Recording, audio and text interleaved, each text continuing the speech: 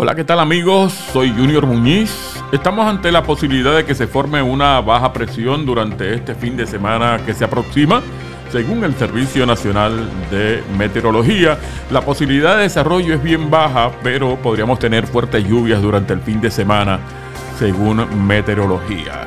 Esta baja presión se podría formar este fin de semana cerca de Puerto Rico, informó esta tarde el Centro Nacional de Huracanes en Miami. El sistema, que al momento tiene una baja probabilidad de desarrollo, pudiera traer fuertes aguaceros al país en el fin de semana. Se espera que un área amplia de baja presión se desarrolle este fin de semana a través del sur oeste del Atlántico tropical y el este del Mar Caribe.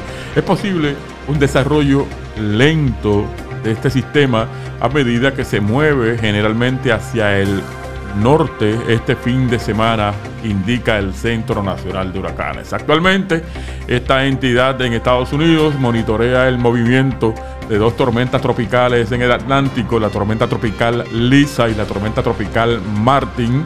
La primera de las dos pudiera convertirse en huracán próximamente a medida que se mueve en dirección hacia Belice. Martin, por su parte, se moverá hacia el norte del Atlántico sin afectar territorio alguno. De otra parte, anuncian aumentos en los beneficios del programa de asistencia nutricional. El Departamento de la Familia anunció el aumento para 1.4 millones de personas en Puerto Rico desde este viernes 4 de noviembre. Las 750 mil familias participantes del programa de asistencia nutricional conocida como el PAN, adscrito al Departamento de Desarrollo Económico y de la Familia, verán reflejado un aumento en sus cuentas de la tarjeta de la familia como resultado del incremento de la asignación de fondos que recibe Puerto Rico, así lo informó hoy el gobernador Pedro Pierluisi.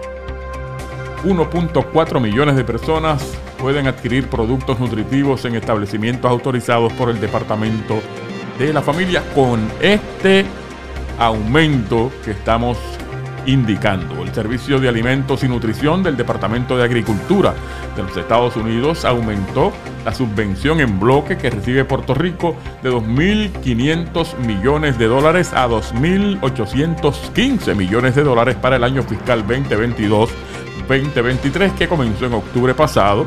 Este ajuste representa 315 millones de dólares adicionales para los participantes del programa de asistencia nutricional.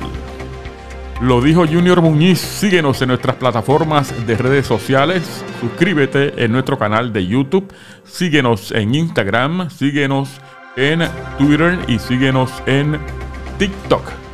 Todas las redes sociales bajo el lema lo dijo Junior Muñiz.